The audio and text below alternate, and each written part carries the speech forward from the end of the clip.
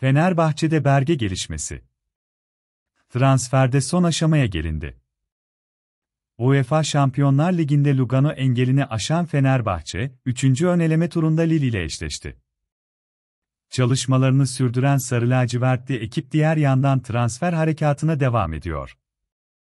Yönetim, Burnley forması giyen Sander Berge'yi kadroya dahil etmek istiyor. İngiliz basını, Yıldız isim için müjdeyi verdi.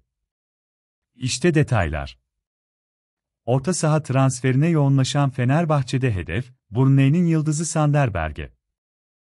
Norveçli oyuncu için İngiliz ekibiyle görüşmelerini sürdüren Sarı Lacivertliler, bu transferde büyük mesafe kat etti. Fotomaç'ın Teamtalk'tan derlediği habere göre ise, anlaşma çok yakın, Jose Mourinho'nun oyuncuyu çok istediği vurgulanan haberde, Süper Lig ekibi, orta saha oyuncusu için anlaşmaya varmaya yakın ifadelerine yer verildi. Berge'nin Burnley Premier Lig'den düştüğü için ayrılmak istediği biliniyor. Eski İngiliz futbolcu Carlton Palmer da Berge'nin takımda kalmayacağını ve Fenerbahçe'ye gideceğini söyledi. Geçen sezonse United'dan transfer edilen Berge, 40 resmi maçta forma giymiş ve 2 gol, 2 asistlik performans ortaya koymuştu.